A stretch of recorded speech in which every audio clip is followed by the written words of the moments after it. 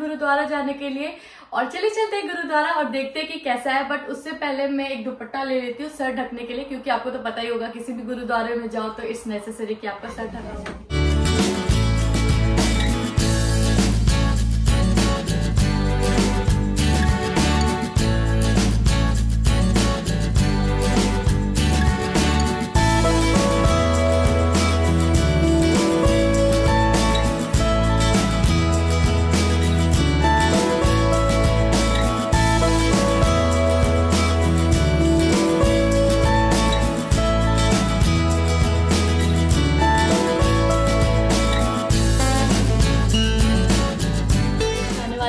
Birthday party में एक छोटी बच्ची की बर्थडे पार्टी में उसका नाम ईरा है एंड आई थिंक इस साल वो दो साल उसके कंप्लीट हो जाने तो अभी मैं उसके लिए गिफ्ट पैक करूँगी। तो आप देख सकते हैं यहाँ पे मैं अपना रैप लेके तैयार हूँ और मैं करूँगी गिफ्ट पैक सो so, ये है हमारा गिफ्ट जिसको मुझे पैक करना है। एंड साथ ही साथ मैंने एक क्यूट सा शर्ट लिखा है।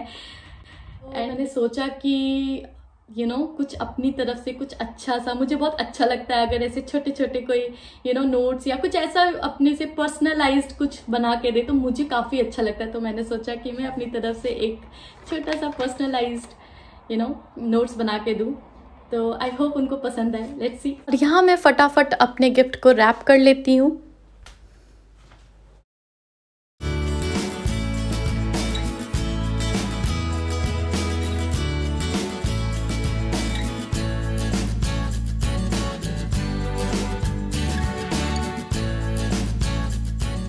सो so गाइज़ मेरी पैकिंग कंप्लीट हो गई है। यहाँ पे अपना नाम लिखना बस बाकी है। सो so, हो गया है मेरे शाम के चाय का टाइम और मैं अपना चाय जैसे मैंने आपको बोला था कि मुझे बहुत ही अच्छा लगता है ये टाइम मैं पूरे दिन इस टाइम का वेट करती हूँ और साथ ही साथ हम इसके साथ ये बिस्किट खाते हैं। ये बिस्किट यहाँ पे मिलता है इसका नाम मुझे एग्जैक्टली exactly नहीं पता है बट ये इस चाय के साथ इतना ज़्यादा टेस्टी लगता है कि आपको अडिक्शन हो सकता है इसका।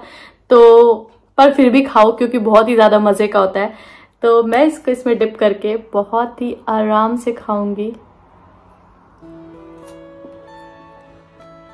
यम बहुत ही ज़्यादा टेस्टी लगता है। इसका नाम मुझे नहीं पता बट मैं इसका नाम पूछ के आपको ज़रूर बताऊँगी।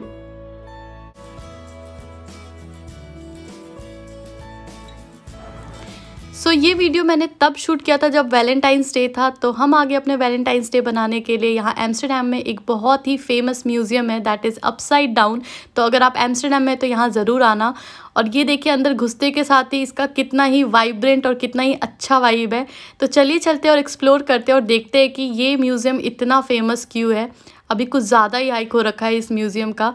तो ये यहाँ की एंट्रेंस है जो कि बहुत ही क्यूट है। तो चलिए चलते और देखते हैं अंदर क्या है।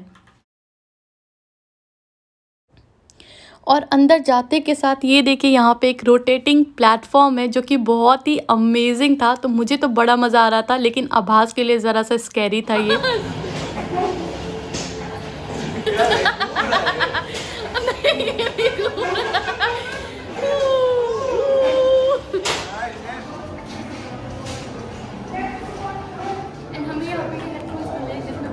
ज़्यादा लाउड म्यूज़िक लग रहा है।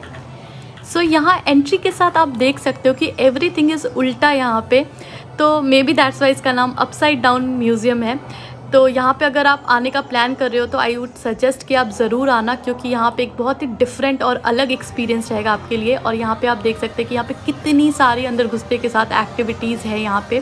एंड सामने में मुझे कुछ बॉल एक्टिविटी दिख रहा है जो कि बहुत ही अमेजिंग लग रहा है। तो यहाँ तो मैं पक्का ट्राई करूँगी बट उससे पहले मैं एक्सप्लोर करूँगी कि इस म्यूज़ियम में और कौन कौन सी एक्टिविटीज़ है हमारे लिए।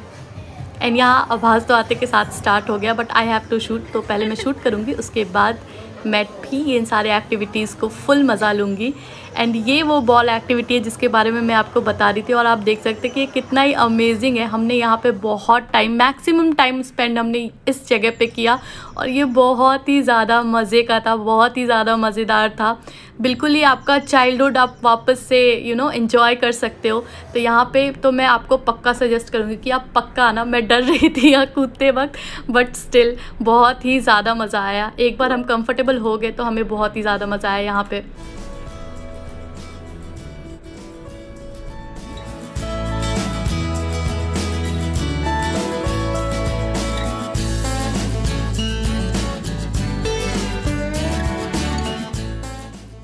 और एक चीज़ जो मुझे यहाँ सबसे ज़्यादा ज़बरदस्त लगी वो ये पिंक वार्ड्रोब सेटअप है उनका। तो एक पूरे रूम में उन्होंने ये सेटअप कर रखा है जिसमें उन्होंने बहुत डिफरेंट फंकी ड्रेसेस लगा रखे हैं। आप इन ड्रेसेस को पहन के पिक्चर्स भी क्लिक करवा सकते हैं।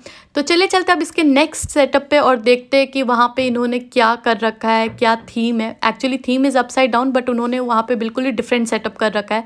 तो अंदर घुसते के साथ मुझे यहाँ पे एक उल्टा सा बाथ टब दिख रहा है, जो कि बहुत ही अच्छा लग रहा है। एंड इनका एक पूरा डिस्को थीम इन्होंने बना रखा है, जिसका थीम इज़ अपसाइड डाउन तो पूरा का पूरा डिस्को ही उल्टा है। एंड सबसे मज़ेदार बात यहाँ की ये है कि इन्होंने यहाँ पर जगह जगह पर कैमरा फिट कर रखा है।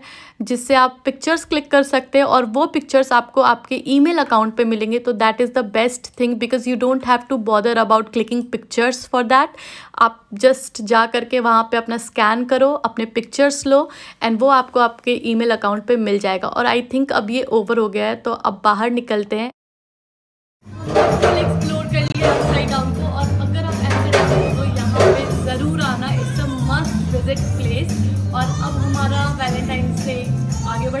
चलते किसी रेस्टोरेंट में और प्यारा से डिनर करते हैं। सो डिनर करने के लिए हमने चूज़ किया था आज ये तुलसी इंडियन रेस्टोरेंट क्योंकि आज इंडियन खाने का बहुत ही ज़्यादा मन था। तो यहाँ मैं और आभास आ गए हैं और वेट कर रहे हैं अपने स्टार्टर्स का और उससे पहले आ गई हमारी ड्रिंक तो आभास ने मैंगो लस्सी मंगाया था और मैंने ये मॉकटेल मंगाया था जिसका टेस्ट वॉज़ गुड एंड साथ ही साथ यहाँ हमारे स्टार्टर्स भी आ गए। तो स्टार्टर्स में हमने मंगाया था चिकन टिक्का जब भी हम किसी इंडियन रेस्टोरेंट जाते हैं तो हम मेक श्योर करते हैं कि हम चिकन टिक्का ज़रूर खाएँ क्योंकि हमें बहुत पसंद है। और दूसरा हमारा था चिकन मलाई कोफ्ता टाइप कुछ था।